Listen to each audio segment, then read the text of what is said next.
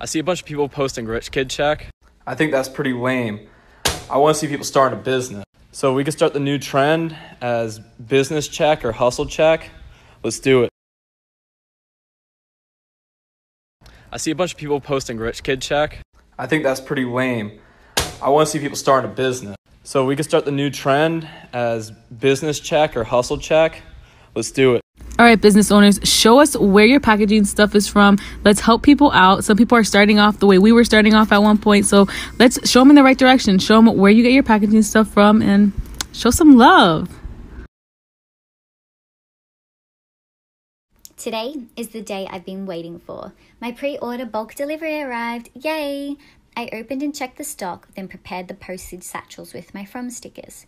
The first thing I started packaging was the Collins Street jumper. I had over a hundred pre orders for this, and every single customer gets a handwritten note and voucher from me. My boyfriend organised the jumpers on the couch in sizing order, and we got a good system going to pack up fast. Oh my gosh, look at them all. His mum and sister then arrived to help with the swimwear pre orders. We all had different jobs and smashed them out. After two hours together, we started to get a bit giggly and delirious, so took a pizza break and switched on the footy. We then kept packaging for three hours. There are still days and weeks where I make no sales, so this was a dream come true. Thanks, everyone. Hi, I just really quick wanted to make a video thanking you guys so so much for all the support on our last video. We've had our shop since October and our last video blew up and completely sold out our shop almost. There's still a couple things left, but it means so much to us and we're doing our best to get out the orders as soon as we can. Hopefully we'll have them all shipped out by um, the end of this week. So if you ordered something, hopefully we're trying to get it out by this week. We plan on restocking the shop as soon as we can. So be on the lookout. But in the meantime, here's a look at some of the earrings that we have and want to start selling soon. And we want to start doing custom soon too. So if you guys are interested in that, um, leave a like, leave a follow, and thank you guys so much. It means the world to us.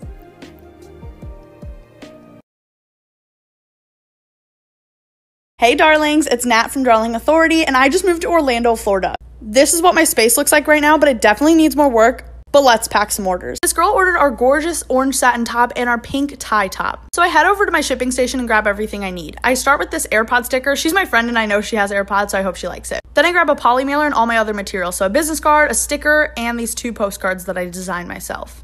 After that, I also grab a matching scrunchie, which I thought this orange wood would be perfect with that top. Then I grab some tissue paper and head over to my cool little coffee table that pops up like this, put all the clothing in the center and fold up the sides. I put the scrunchie on top of the clothes and then wrap everything together with a sticker. I put the postcards with the order and then grab my poly mailer. These new poly mailers are 100% recyclable and reusable for return, so they're really awesome. Put all the items inside and then weigh them to get an accurate shipping label. I then print my shipping label, put it on the package, and we're done.